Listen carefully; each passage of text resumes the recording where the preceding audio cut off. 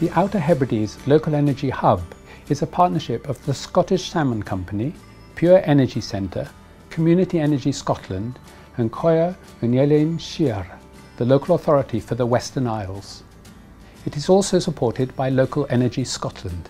It involves taking the fish waste from the Scottish Salmon Company's production plant and combining this with local household and garden waste and using it as a feedstock for an anaerobic digester which is based at the Council's Household Waste and Recycling Centre at Creed. The biogas which is produced is then used as a fuel for a combined heat and power plant which generates both electricity and heat.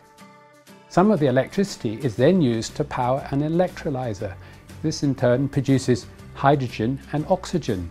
There are a number of aspects of this project which particularly impress the judges.